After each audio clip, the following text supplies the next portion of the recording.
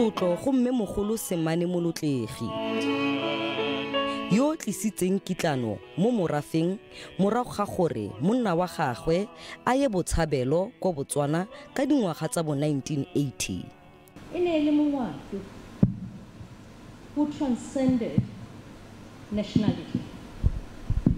Someone with natural nobility who was classless who proved after the death of her husband Kosilibona that she needed no titles or frills to continue on her le fa botshelo jwa gagwe bo ne bo aparetswe ke kgaratlho bo ne bo kgethegile She was arrested, she was imprisoned.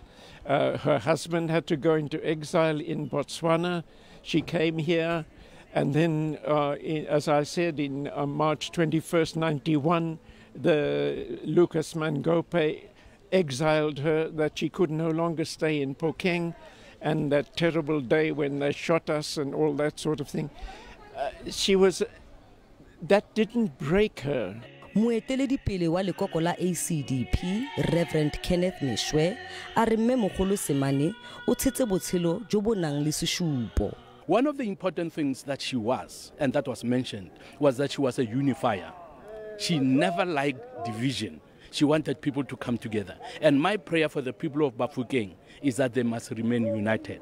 Because if they remain united, even Measiteng, I pray that God will raise another unifier so that the nation of Bafokeng can become one. malebana le dithulaganyo tsa phitlho keletso ya ga mme mogolo e ne ya lebellwa thata The state funeral is not only from government, also the family must also agree to it.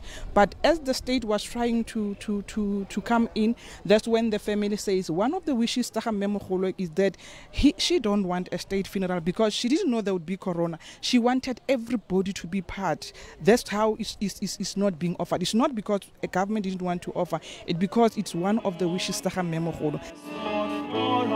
Tirelo phitlho ya game mogolosemane mogolo semane e tla tshwarwa ka la matlhatso mo phokeng. Sentle englishihi sabc news phokeng gaufi le rustenburg